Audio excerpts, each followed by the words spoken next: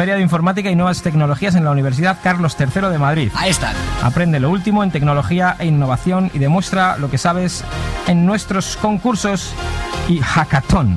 Venga.